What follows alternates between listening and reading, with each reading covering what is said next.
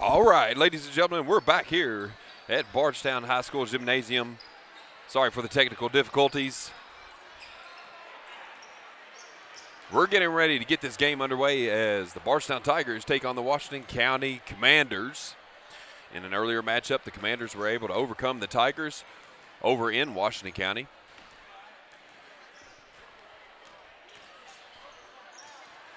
Once again, this is the second part of a doubleheader. In the first part, uh, the Bardstown Lady Tigers were able to easily defeat the Commanderettes. And the Bardstown Tigers will look to, to continue that streak here in just about 10 minutes. Stay tuned. We'll be right back with you.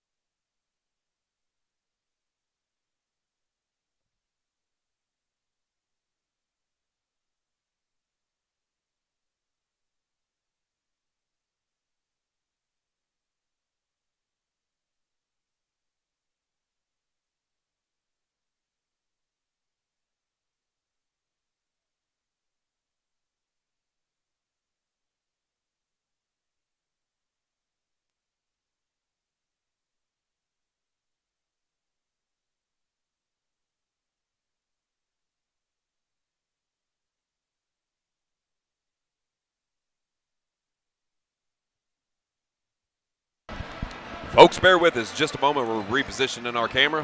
I'm going to try to get the best shot we can for you.